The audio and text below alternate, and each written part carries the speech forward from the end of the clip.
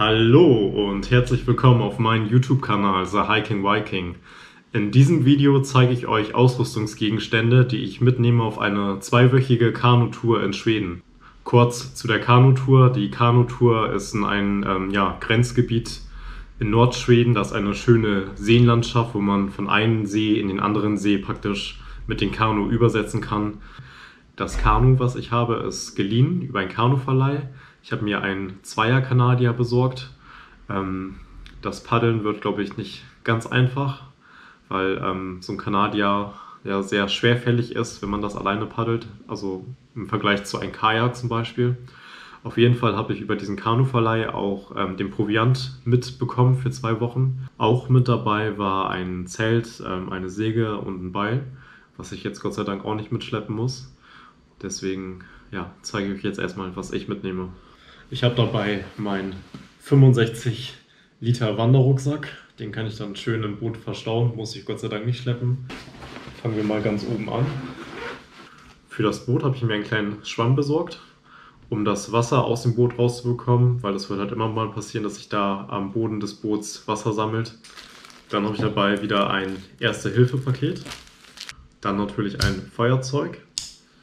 Dann habe ich mir ein paar Arbeitshandschuhe eingepackt, zum Holzhacken und zum Sägen.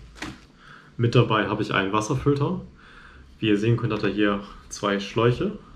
Der untere Schlauch wird ins Wasser gehalten und der Schlauch mit dem Ende in die Trinkflasche rein. Und da muss man praktisch einfach nur noch hier die Pumpe betätigen. Das Wasser wird einmal hier durchtransportiert, gefiltert.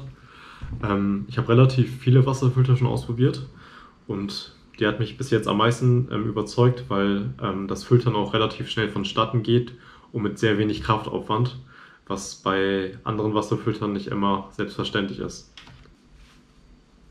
Dann habe ich hier so einen Beutel dabei mit jede Menge Paracord. Brauche ich für alle möglichen Dinge wie Tarp, Zelt, ähm, Hängematte und so weiter. Dann habe ich natürlich auch einen Feuerstahl dabei. Dann habe ich ein paar Bootschuhe dabei, der eine oder andere von euch kennt die vielleicht. Ähm, das Material ist da halt extrem dünn, sodass sie schnell trocknen können, falls sie nass werden. Und die Sohle ist halt ein bisschen gummiert, dass man nicht wegrutschen kann, falls man irgendwie auf rutschigen Steinen aussteigt aus dem Kanu.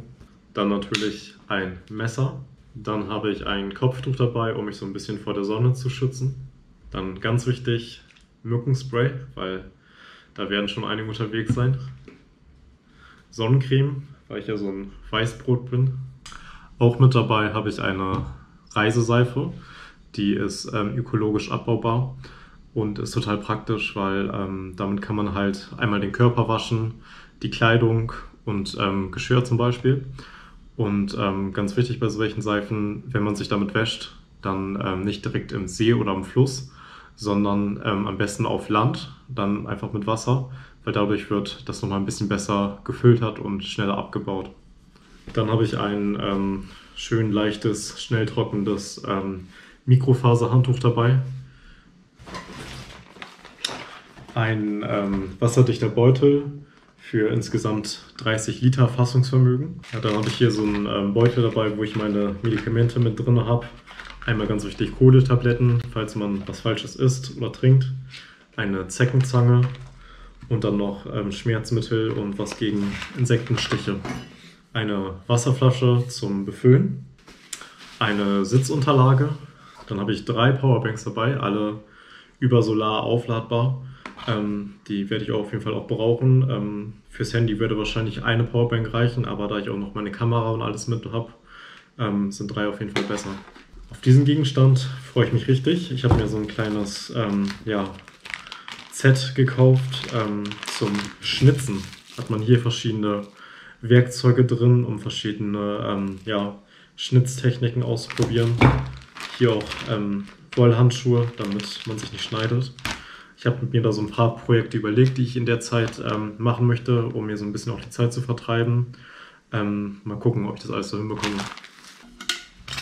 Ja, dann habe ich dabei ähm, Besteck und einen kleinen Teller praktisch. Ähm, mehr Küchenutensilien brauche ich auch gar nicht, weil die waren alle schon bei der Ausrüstung vom Kanuverleih mit dabei, was ganz praktisch ist. Dann natürlich eine Isomatte, ein Kopfkissen aufblasbar, Dann ein Tarp, 3x4 Meter.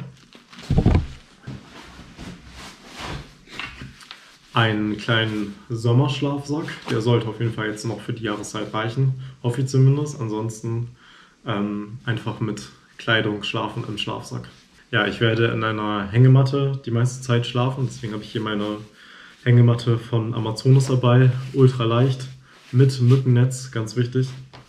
Und für die Hängematte ganz wichtig ein Underkilt.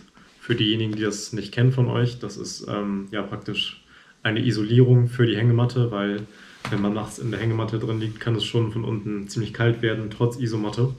Und dadurch geht halt der Wind nicht so durch. Ja, jetzt habt ihr schon mal einen kleinen Überblick von den Gegenständen, die ich mitnehmen werde.